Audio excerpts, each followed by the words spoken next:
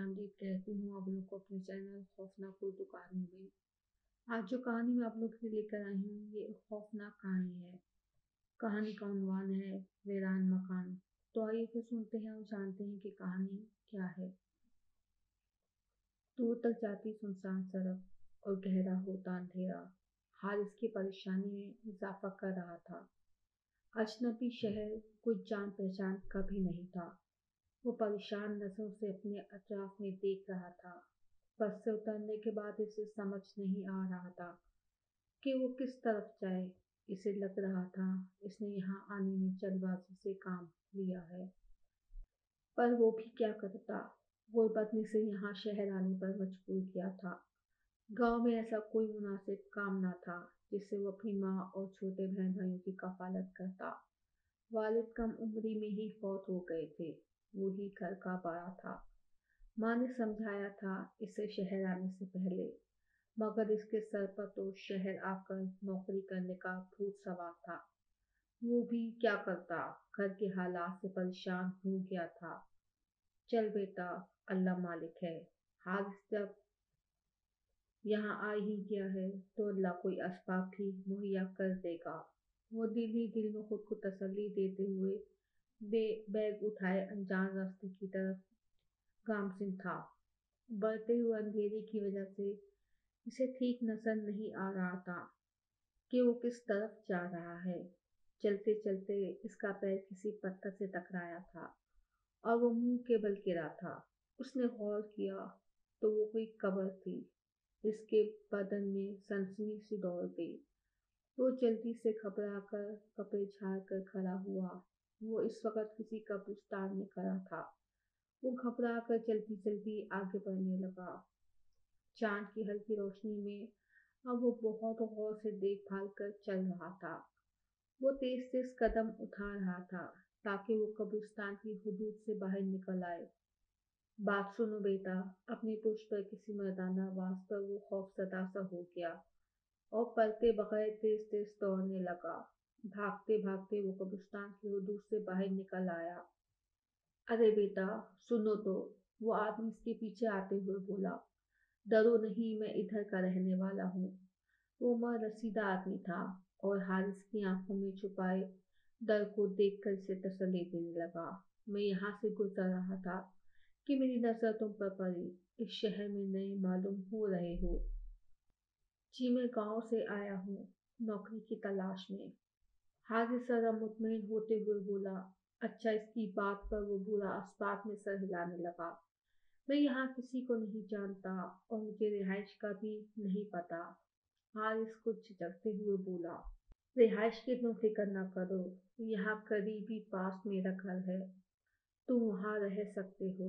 बूढ़े की पेशकश पर हारिस की खुशी देखने से काफ़ी रखती थी। कराया क्या होगा? हारिस हिचकिचाते हुए बोला, किराए की फ़िक्र नहीं करो, जब तक दिल चाहे रहना। मैं और मेरी बीवी ही होते हैं, घर में हमारा अकेलापन भी दूर हो जाएगा, और तुम्हारा रिहाइश का मसला भी हल हो जाएगा। बूढ़े की बात पर वो इनकी जानब देखने लगा। इसे यकीन नहीं आ रहा था, इतनी जल्दी इसके लिए इतनी आसानी हो जाएगी। बातें करते करते वो एक घर की जानब आकर रुक गए। घर काफ़ी पुरानी खस्ता हालत का लग रहा था। वो दरवाज़ा खोलकर से अंदर ले आए। घर में दाखिल होते ही अजीब सी ठंडक का एहसास हो रहा था। इतनी गर्मी में भी घर का माहौल अजीब सी ठंडक लिए हुए था। बड़ा सा सहन था, जहाँ पर एक तख्त बिछा हुआ था। सहन के एक जानब छोटा सा बाबाजी खाना था और दूसरी जानब छोटा सा एक कमरा था। जहाँ पलंग पर एक बुरी औरत बैठी नज़र आ रही थी। शहर में लगे नीम के दरख्त पर बैठी काली स्याह बिल्ली बुरी तरह से हारिस को खू रही थी। इसकी घूरती नज़रों से हारिस को वहशत का एहसास हो रहा था। शहर में बनी सीढ़ियों की जानब वो बूढ़ा हारिस को लेकर बढ़ा और ऊपर की जानब, जो ऊपर की जानब जा रही थी। वो भी आहिस्ता आहिस्ता इनके पीछे सीढ़ियों पर चलने लगा। सीढ़ियों के तताम पर एक छोटा सा कमरा था। कमरे के बिल्कुल बराबर छोटा सा बावर्ची खाना बनाया हुआ था। यह है तुम्हारा कमरा, वो बूढ़ा इसे कमरे में ले जाते हुए बोला। अब तुम आराम करो, मैं कुछ खाने को लाता हूँ। नहीं नहीं, मैं बस सोना चाहूँगा। बहुत थकन है। हारिस बोला, चलो जैसे तुम्हारी मर्ज़ी। सुबह मुलाकात होगी। वो शब बखैर कहता हुआ सीढ़ियों की जाने पर गया। हारिस कमरे का नए सिरे से जायजा लेने लगा। कमरे में कालीन बिछा हुआ था। कोने में सिंगल बेड रखा हुआ था और बेड के बिल्कुल सामने दो कुर्सियाँ रखी हुई थी। हारिस एक तरफ़ बैग रखकर कपड़े निकाल कर नहाने चला गया। नहाकर आया तो खुद को काफ़ी फ्रेश महसूस कर रहा था। वो सोने के लिए लेटने से पहले कमरे का दरवाज़ा बंद करने के बाद वो खिड़की के दोनों पट बंद करने लगा। वो खिड़की सीढ़ी की जाने खुलती थी। इस कमरे में दूसरी खिड़की भी थी जो रोड की जाने खुलती थी। हारिस इस खिड़की में देखने लगा तो वहाँ से नज़र आते कब्रिस्तान में इसकी नज़र पड़ी। तो इसने घबराकर खिड़की बंद कर दी और बेड पर आकर लेट गया। थकावट इतनी ज़्यादा थी कि लेटते ही सो गया। सुबह आँख इसकी दरवाजे पर होने वाली दस्तक से खुली। वो जल्दी से बेड से उतरा तो वो बूढ़ा से खिड़की से कमरे में झांकता नज़र आया। बेटे खोलो। इसने दरवाज़ा खोला तो हाथों में नाश्ते की ट्रे लिए। वो बूढ़ा खड़ा था। नाश्ते की ट्रे देते हुए वो हारिस से बोला, नाश्ता करके नीचे आ जाना बेटा। बूढ़े की बात वो इसबात में हिलाने लगा और नाश्ता करने के बाद वो नीचे चला आया, जहाँ शहर में वो कल वाली औरत तख्त पर बैठी हुई थी और पास ही इसके वो बूढ़ा बैठा था। आज जाओ बेटा तख्त पर बैठी बूढ़ी औरत इसकी जगह अपने पास बनाते हुए बोली, मेरा नाम सईदा है वो मेरा नाम शोएब है, वो बूढ़ा बोला। अपने बारे में बताओ, बूढ़ी औरत बोली। मेरा नाम हारिस है। मैं गाँव से शहर नौकरी के सिलसिले में आया हूँ। अच्छी बात है, तुम यहाँ आराम से रहना। खाने पीने के बारे में फिक्रमंद होने की ज़रूरत नहीं। बहुत शुक्रिया, आंटी। इस अजनबी शहर में आप लोगों की मदद का मैं बहुत मशहूर हूँ। वो शुक्रिया के अंदाज में बोला अच्छा मैं चलता हूँ। नौकरी की तलाश में। दुआ कीजिएगा, कोई माकूल नौकरी मिल जाए। और फिर थोड़े दिन की मेहनत और भागदौड़ के बाद इसे एक ऑफ़िस में क्लर्क की नौकरी मिल गई थी। मैं आपको बहुत तंग करती हूँ ना, ऐसा सोचना भी मत कि तुम मुझे तंग करती हो। तुम्हारा मेरा साथ तो ज़िंदगी भर का ही नहीं, मरने के बाद भी जुड़ा रहेगा। शोएब मोहब्बत से अपनी बीवी से बोल रहा था। रात के वक्त वो किसी काम से बाहर जाने के लिए सीढ़ियाँ उतर कर सहन में आया तो शोएब साहब का जुमला इसके कानों से टकराया। जो वो अपनी बीवी से बोल रहे थे। वो खामोशी से दरवाजे की जाने पर गया। कहाँ जा रहे हो बेटा? शोएब साहब बोले। जी बाज़ार जा रहा हूँ। कुछ काम है। वक्त देखो। बेटा, इतनी रात को जाओगे, हालात भी शहर के ठीक नहीं है। ऐसा करना, कल चले जाना। अभी तो मैं दरवाज़ा खोलने की भी इजाज़त नहीं दूँगा। इनके बोलने पर वो चुपचाप ऊपर की जानब वापस मुड़ गया। अच्छी मुसीबत है, रात के नौ बज रहे हैं। कौन सी आधी रात हो गई, जो मैं जा भी नहीं सकता। मगर के बाद कहीं भी कहीं भी नहीं जाना। डाकू ना आ जाए, ऐसा लग रहा है, डाकू तो इनकी ताक में बैठे हैं। इनके घर की वो जलता भुनता बेड पर आकर लेट गया। इसे यहाँ वैसे तो कोई परेशानी नहीं थी, मगर इन दोनों मियाँ बीवी के आने जाने की रोक टोक से वो अक्सर घबरा जाता था। बिस्तर पर परे परे वो बेसार हो गया तो उठकर दूध की तरफ़ खुलने वाली खिड़की खोल कर खड़ा हो गया। काफ़ी सुनसान इलाका था आबादी भी ज़्यादा नहीं थी। बेचारे मियाँ बीवी भी गलत नहीं, अकेले होते हैं, इनका डरना कुछ गलत भी नहीं, वो सोचने लगा। कब्रिस्तान के बाहर से गुजरती दो लड़कियाँ जो खिड़की में खड़े हाथ इसको ही देख रही थी, हाथ हिलाने लगी। इनकी हरकत पर वो घबरा गया। इतनी रात हो, ये दोनों यहाँ क्या कर रही हैं? इसने घबरा कर खिड़की बंद कर दी। कमरे का दरवाज़ा खोल कर वो नीचे झांकने लगा। शहर में अब कोई भी नहीं था। वो दबे कदमों सीढ़ी उतर कर नीचे आ गया और आहिस्ती से दरवाजे की जाने पड़ने लगा। पलट कर यकीन दहाने के लिए देखने लगा। दोनों मियाँ बीवी अपने कमरे में सो गए थे। अभी वो दरवाज़ा खोलने ही वाला था कि अचानक से शहर में लगी नीम के दरख्त पर बैठी बिल्ली करारती हुई हारिस पर हमला कर गई। हारिस इस अचानक हमले के लिए तैयार ना था। वो एकदम सरपरा सा गया। वो काली से आ बिल्ली हारिस को बुरी तरह से घूर कर देख रही थी। हारिस घबरा कर ऊपर की जाने भागा तो पीछे से नसवानी कैकी की आवाज़ पर वो बदहवास हो गया। जैसे इसके इरादे को नाकाम बनाने पर कोई हंस रहा हो। वो दरवाज़ा बंद करके बुरी तरह हाँफने लगा। इसे खौफ महसूस हो रहा था। रात भर जागते गुजरी, फजर के वक्त जाकर इसकी आँख लगी। दूसरे दिन ऑफ़िस से वापसी पर घर आते हुए अपने पीछे आती नस्वानी आवाज़ पर वो पलट कर देखने लगा।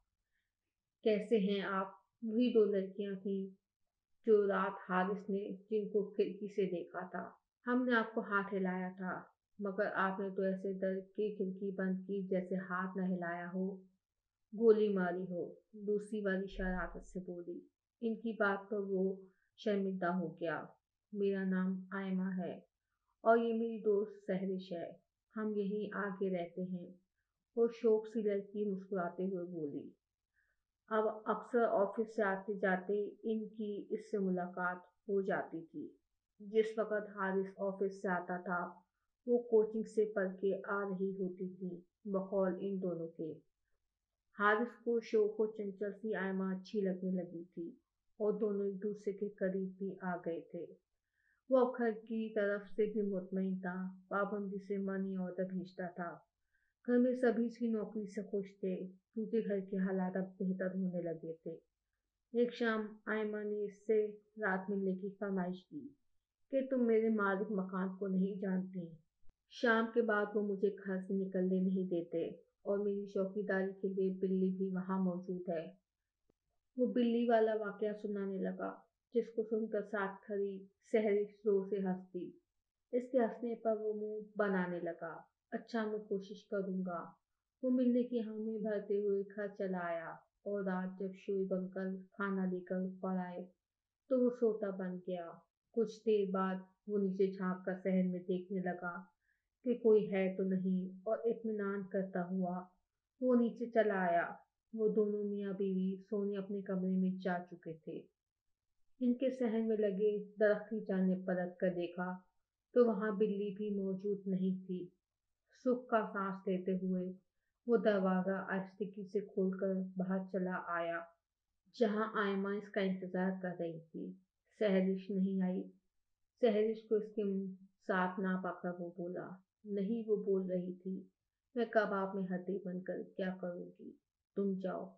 वो शरारत से बोली। इसकी बात पर वो हंसकर गौर से देखने लगा। जो वाकई में बहुत हसीन थी। आओ, पार्क में चलते हैं। आयमस को सामने बने कब्रिस्तान की तरफ़ ले आई। इतनी रात में कब्रिस्तान जाते हुए वो डर रहा था। डरो नहीं इस कब्रिस्तान की बात है। पार्क वो इसके साथ पार्क चलाया। वो पहली बार इस पार्क में आया था। आयमा इसे अपने बारे में बताने लगी कि वो और सहरिश दोनों सहेलियाँ हैं और दोनों शहर से पढ़ाई की वास्ते यहाँ आई हैं। बातों में वक्त का पता ही नहीं चला। हारिस की निगाह अपनी रिस्ट वॉच पर पड़ी जो दो बचा रही थी। ओह, इतनी देर हो गई। तो घबरा के खड़ा हो गया। हाँ चलो सहरिश भी परेशान हो रही होगी। आयमा भी इसके साथ खड़ी हो गई। दोनों बातें करते पार्क से निकल आए। कब्रिस्तान में खड़ा घूरकर घूरती नज़रों से हारिस को देखने लगा। इसकी नज़रों से खाइफ होता हारिस आयमा को खुदा हाफिज कहता घर आ गया। घर में दाखिल होते ही इसकी निगाह दरख्त पर बैठी बिल्ली पर पड़ी। जो उसको ही घूर रही थी। आ गए तुम मना भी किया है, इतनी देर तक घर से बाहर रहना ठीक नहीं, पर तुम सुनते नहीं हो। उफ, आंटी जाग रही हैं, वो सर पकड़ के रह गया। चलो, आके आ गए हो तो खाना खा लो। तुमने रात खाना भी नहीं खाया था। तख्त पर रखा हुआ है। मैंने खाना बावर्ची खाने से सैरांती की आवाज़ पर हारिस जी भर कर शर्मिंदा होते हुए तख्त पर रखी, खाने की ट्रे की जाने बढ़ गया और वहीं बैठ के खाना खाने लगा। इसे भूख भी बहुत ज़्यादा लग रही थी। खाने के बाद बावर्ची खाने की जाने बढ़ गया। सॉरी आंटी, अब आपको शिकायत का मौका नहीं मिलेगा। और खाना बहुत ही मज़े का था। अल्फाज के मुँह में ही रह गए थे। क्योंकि वहाँ कोई भी नहीं था। वो खौफजदा नज़रों से आंटी के कमरे की तरफ़ देखने लगा तो वो बेड पर सो रही थी। ये क्या हो रहा है मेरे साथ? वो घबरा कर ऊपर चला आया दूसरे दिन छुट्टी थी, वो भी नीचे चला आया अंकल आंटी सहन में तख्त पर बैठे थे। वो इनके पास चला आया आप दोनों की शादी को कितने साल हो गए? वो इनसे पूछने लगा। पचास साल हो गए। मैं भी आकर इसी घर में आई थी। औलाद के लिए बड़ी दुआएँ किया करती थी, पर हुई नहीं। वो मासी को सोचते हुए आप दीदा हो गई। मेरे तो यही बच्चे हैं। वो दरख्त के पास बैठी बिल्लियों की जानेब मोहब्बत से देखते हुए बोली, आपको बिल्लियाँ बहुत पसंद हैं। वो सवाल करने लगा हाँ। वो मुख्तर सा जवाब देकर चुप हो गई। तो वो दरख्त के पास बैठती, आराम करती बिल्लियों की जानेब देखने लगा। इनमें से एक बिल्ली में इनमें से एक बिल्ली की आँखों में हाथ को देखते हुए अजीब सी चमक थी कि जिसे देखकर उसे छुरछुरी सी आ गई। तुम्हारे अंकल को बहुत बोला था मैंने कि वो दूसरी शादी कर ले लेकिन वो नहीं माने। सईद आंटी बोली, आपसे मोहब्बत करते होंगे ना? ऐसी वैसी, सईद आंटी मुँह पर दुपट तरक के हंसने लगी। लैला मजनू की मोहब्बत मशहूर थी हम दोनों की। वो बताने लगी। आंटी, ये इलाका इतना सुनसान क्यों है? ये इलाका शुरू से ही सुनसान है।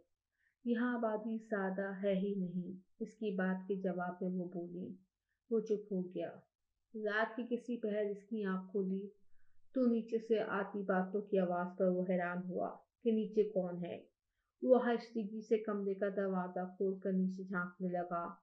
तो सहन में शादी का समा था। पूरा सहन रोशनियों से जगमगा रहा था।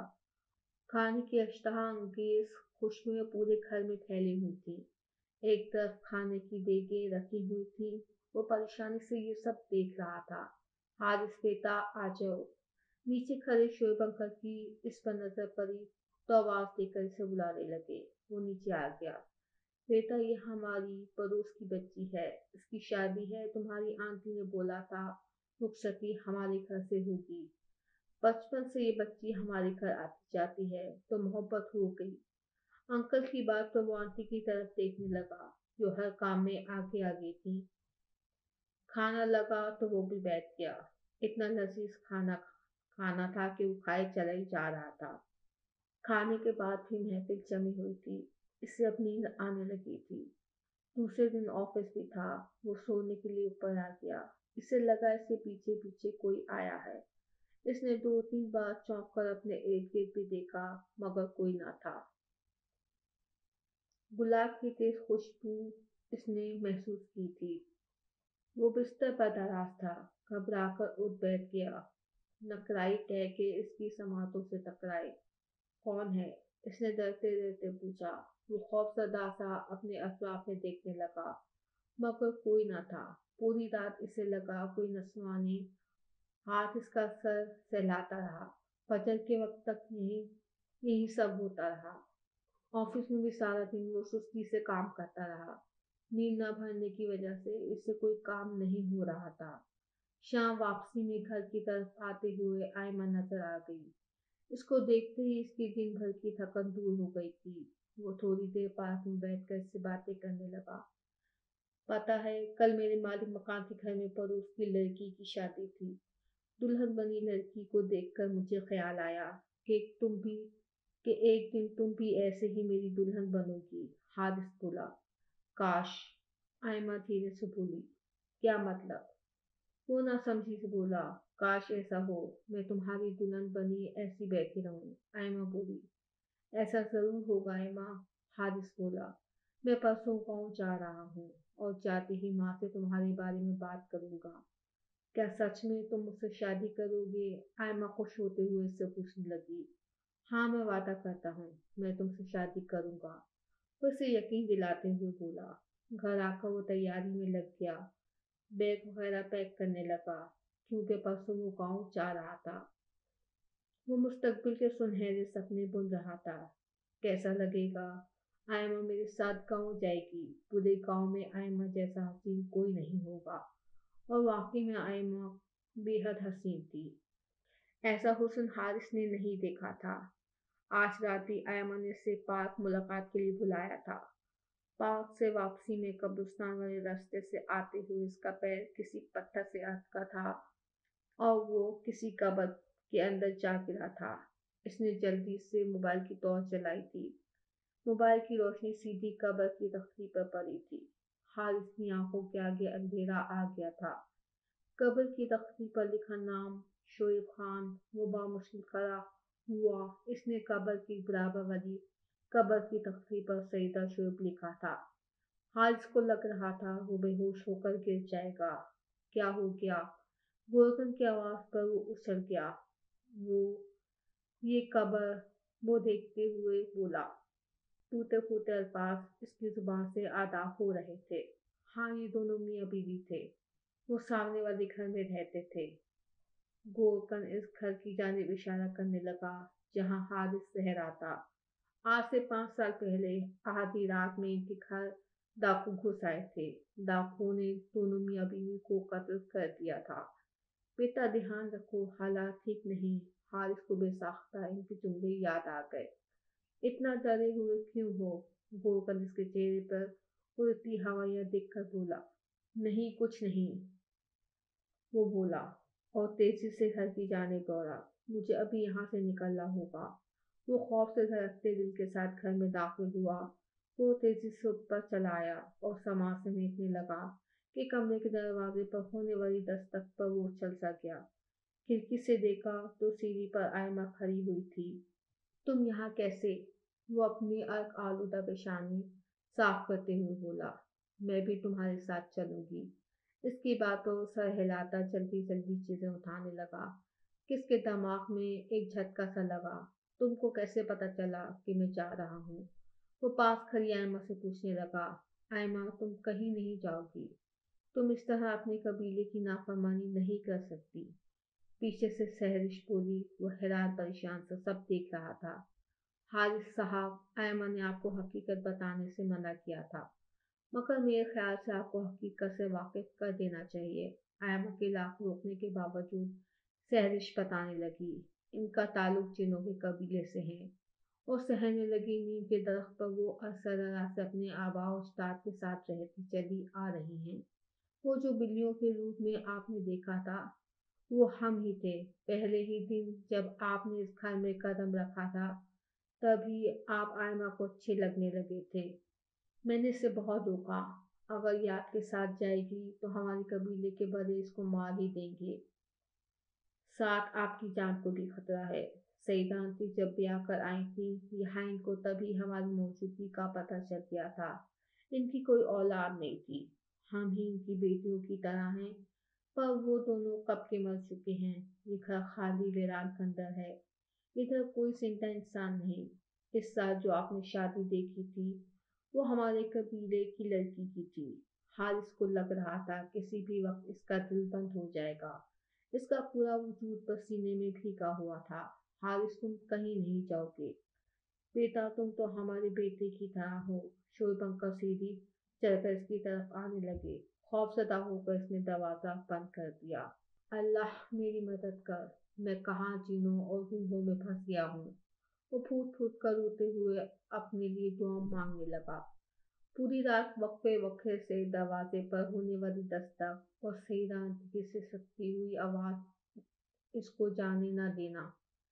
मैं नहीं जाने दूँगी। मेरा कोई बच्चा नहीं। ये मेरा बच्चा है। ये आवाज़ें इसके कानों में हथौड़ी की तरह बरस रही थी और साथ में नस्वानी, बेन करती हुई आवाज़ जो आयमा की थी हारिस तुमने मुझसे वादा किया था। तुम ऐसे कैसे जा सकते हो? वो दोनों हाथ कानों पर रखे दरवाजे से पुश लगाए बैठा रहा। फजर के वक्त आजानों का सिलसिला रुका। इसने दरवाज़ा खोलकर नीचे झांका, जहाँ अब खामोशी थी। वो बैग उठाए अंधाधुन सीढ़ियाँ उतरता हुआ दरवाज़ा खोलकर बाहर की जाने भागा। वो बुरी तरह से बस भाग रहा था और बाहर रोड की जानिब आकर आसमान की जानिब देखते हुए इसके आँसू गाल, गालों पर बह रहे थे। इसे यकीन नहीं आ रहा था कि वो बचकर आ गया है। ये सोच के इसके रोंगटे खड़े हो रहे थे कि वो छह माह तक रूहों जिनों के दरमियान रहा था। आज इस बात को दस साल बीत गए। और पिछले आठ साल से वो यहाँ शहर में अपनी माँ और बीवी बच्चों के साथ मुकीम है। आज किसी काम से जब अपनी बीवी के साथ इस इलाके से गुजरा तो इत्तफाक से इस घर के पास से इसका गुजर हुआ। घर के पास से गुजरते हुए इसके जिसम में सरसरी सी लहर दौड़ गई। आज भी वो घर ऐसा ही वीरान पड़ा था। हाल इसकी निगाह बेख्तियार इस कमरे की खिड़की की जाने उठी, जहाँ इसने छह माह क्याम किया था। मगर वहाँ के मंजर ने इसे दहशत में मुबतला कर दिया था। आयमा खिड़की में खड़ी मुस्कुराती हुए इसको हाथ हिला रही थी। उम्मीद करती हूँ कि ये कहानी आप लोग को अच्छी लगी होगी। अगर ये कहानी अच्छी लगी तो प्लीज़ उसे लाइक कर दीजिएगा, शेयर कर दीजिएगा। मेरे चैनल को सब्सक्राइब कर दीजिएगा। शुक्रिया।